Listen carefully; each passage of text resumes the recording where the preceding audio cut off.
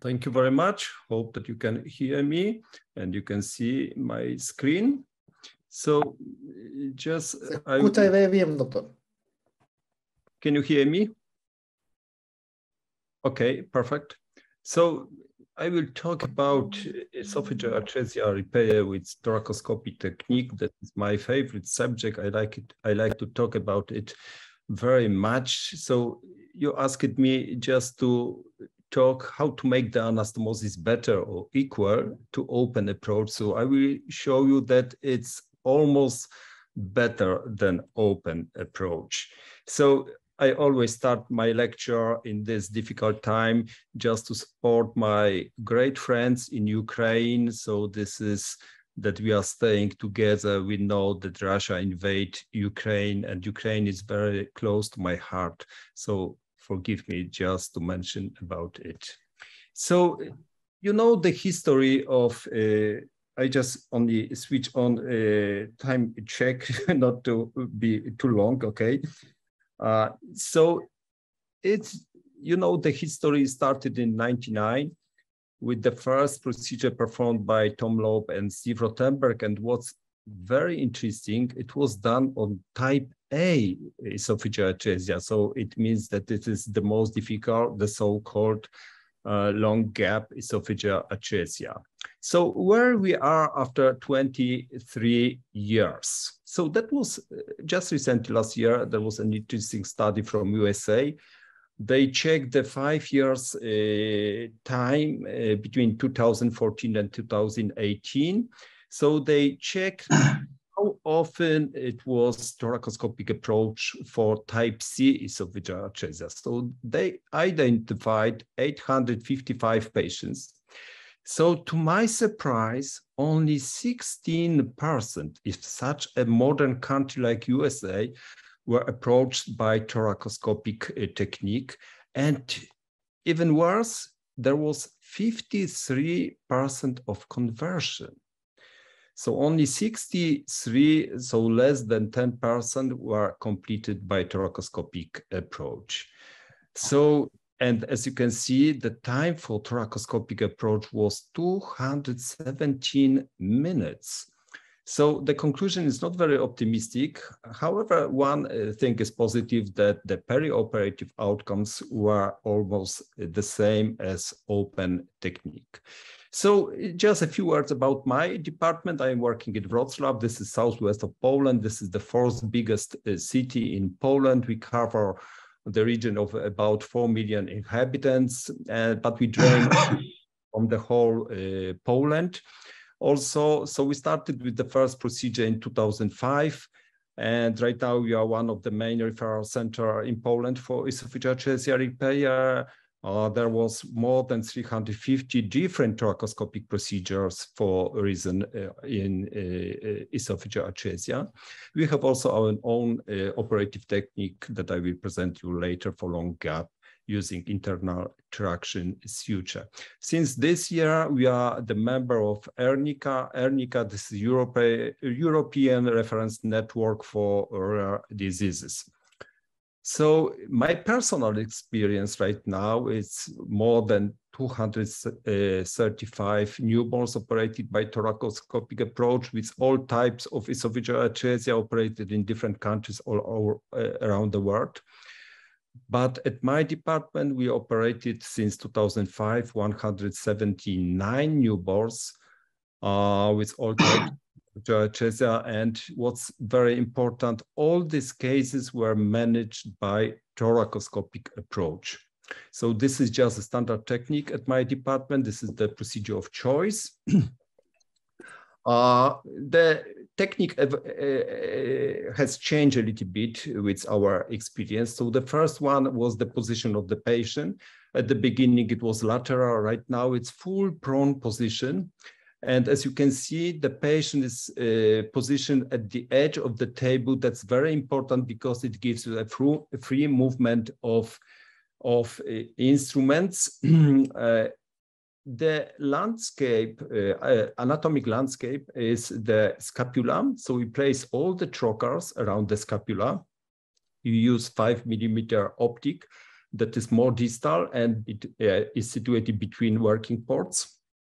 So just maybe you are surprised with this speedy up uh, the video, but just want to show you the whole procedure. This is uncut video from the whole procedure the from skin to skin that lasted 46 minutes.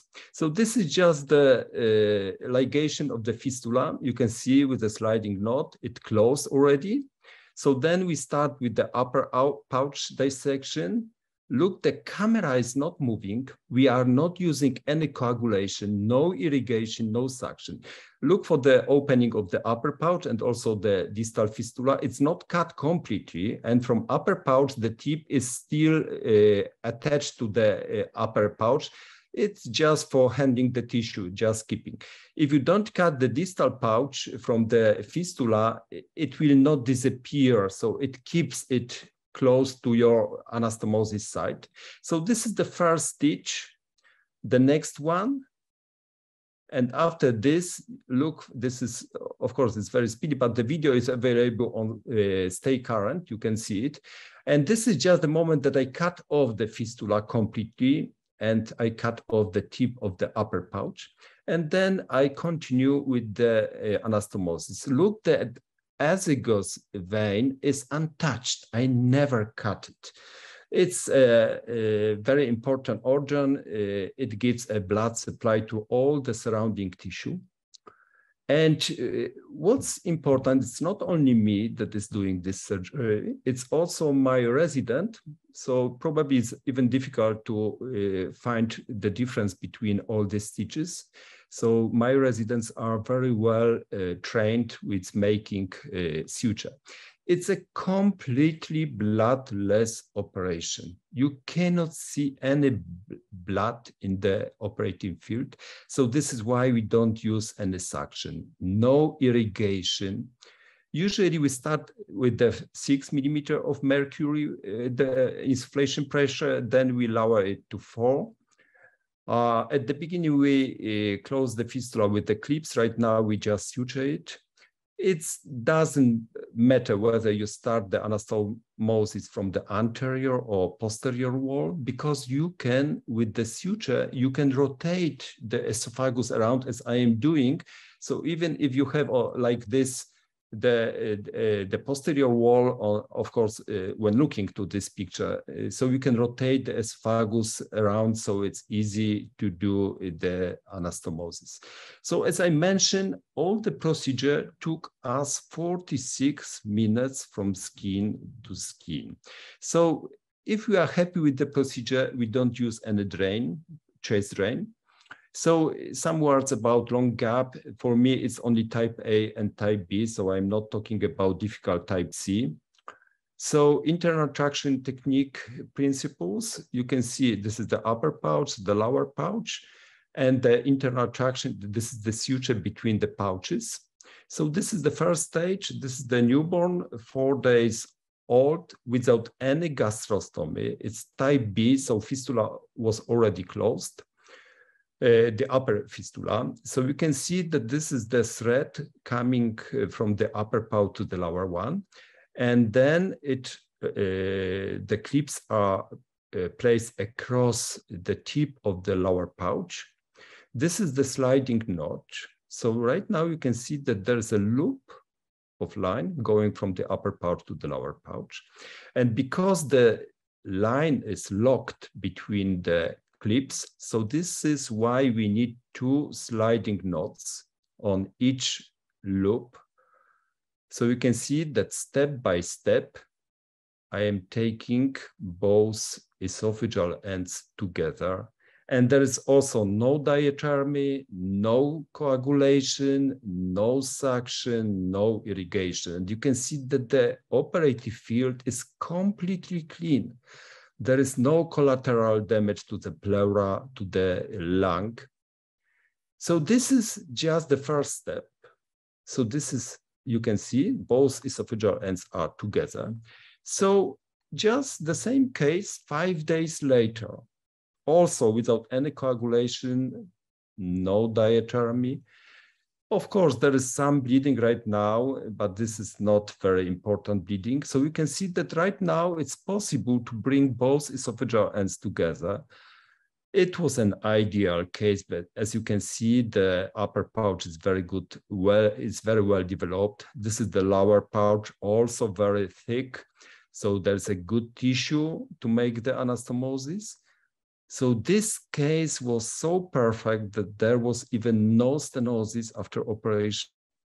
And because it was from the other side of Poland, so it, I never uh, saw it again. Uh, and if you cannot complete the anastomosis on the second stage, you can do another one. So you can re reopen the sliding knot and bring both esophageal ends using the same suture again. So what is the perfect, what is the chance to make a perfect esophageal anatomy? It is a sliding knot.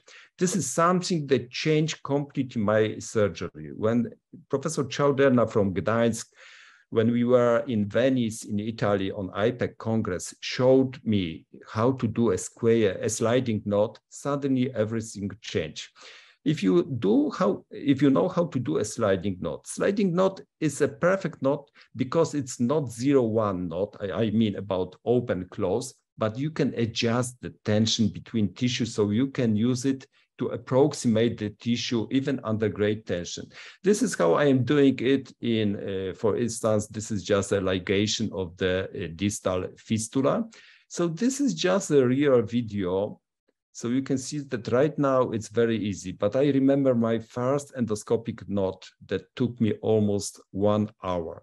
Right now with exercise, with experience, it's really, really very easy. But it is almost like riding a bike, you know, when you watch people riding a bike, this is my granddaughter, it's very easy, just sit down on a bike and go. But when you if you have no experience, it's not possible to sit on the bike and ride by it. So this is the same with the making endoscopic knot. Probably this is the most difficult part of any endoscopy. So this is why when we organize endoscopic courses, we start with to teach people how to make the uh, the knots, endoscopic knots. So this is just the course that we have at our department. It's a three-day intensive course of endoscopic suturing. We have a special equipment. So uh, the uh, uh, students train are trained how to do it, and after three days of extensive and intensive course, they really know how to do it. They, they at least have the idea how to do how to do uh, the suture. And this is a very good practice for everyone student. It doesn't cost too much. It is a repeated practice. So we just exercise each aspect of endoscopic knot. And there's a lot of details that are very important. For instance, when whether you move both instruments at the same time. When you make a loop around one instrument, don't close it because you will stuck with the instrument inside it. So there are a lot of details that are very important that let you, when you know it, it lets you do a perfect endoscopic knot. So we even constructed a special endoscopic model for esophageal atresia repair. It's from Silastic. So you can see that you can be trained perfectly how to do it. This is a real operation and just the model to exercise. So each of my resident at my department uh, uh, is very well trained how uh, to uh, how to uh, do it. So some words about the results at my department. So right now we collected 145 type C and type D cases. All cases were managed by thoracoscopic approach. So operative time median was one hour 31 minutes and early mortality, especially you can see on this uh, graph that the mortality was mainly at the beginning. Right now we have just single cases. Even the late mortality is not very high. We had at the beginning 10 cases with leakage. Right now I cannot recall anyone. And as you can see, the stenosis that I will talk later was about uh, 24%. We had just only one case of recurrent TEF, and probably this is because of azygos vein that uh, we left uh, uh, intact, because it separate the anastomosis from the, from the uh, fistula closure fundoplication is not very frequent in my in my experience. It's it was only for five cases of type C and D. And we are still, until now, happy to have no conversion, 0%.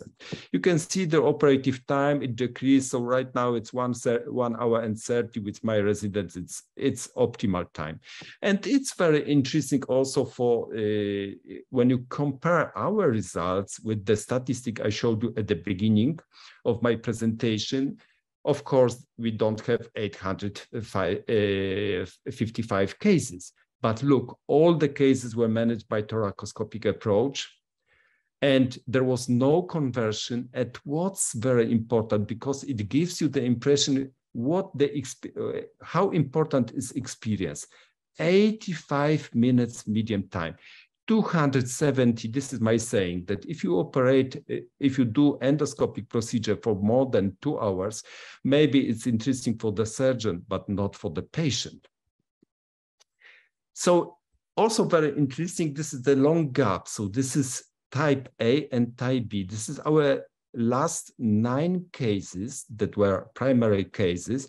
So they were managed without any gastrostomy. In all these cases, we were able to do the esophageal anastomosis, may more often after two stages, but there was also a case that required four uh, stages. And the medium hospital stay was 31 days for these patients. And there was no electrosurgery, no irrigation, no suction at the procedure. So if you ask me about thoracoscopy for esophageal atresia repair, it's of course difficult. It's challenging, it's demanding, great experience needed, not for everyone, but it should be the procedure of choice in right hands as it is at our department. And if you think about thoracoscopy for long gap esophageal atresia, it will change completely the way we manage uh, this patient. At my experience with primary cases, for more than 50 cases right now, I had only one that I had to do a esophageal transposition, a replacement, no other cases all were managed with internal traction. And this is the case that required six thoracoscopic procedures. And finally, it had the baby had its own esophagus. Uh, is it a real game changer? I recently had a lecture at uh, British Association of Pediatric Surgery meeting. So my answer was yes, it's a real game changer. But what we need to do change the game. First, we have, you know, there is a beautiful sentence from the book uh, published in USA, The Surgeon and the Child. This is an old book, but with no language, but they cry, children are looking for better surgical treatment. So what we have to do, let's start to think about newborn as a subject, not object. It's I had a discussion with one uh, consultant from UK, and I asked him why you are doing open surgery still for esophageal atresia, and he, his answer was because we have to teach young residents how to do it open. Could you imagine the situation that you are going to the adult patient that has had to do uh, had to uh, have a, a cholecystectomy, and you are talking to him because that you have to learn your resident how to do it open and you will do open cholecystectomy? Not, it's not possible. So the same, let's start to think about newborn as the adult patients. So open question, should we operate two or three cases a year in a single center? Or is it time for centralized treatment or close cooperation for patients with long gap? We are kings and queens of rare diseases. And look for this uh, picture. how the complication changed in Netherlands when they centralized uh, the care for oncological patients. It's a dramatic change. So we should also do it for our pediatrics. Thank you very much. Thank you.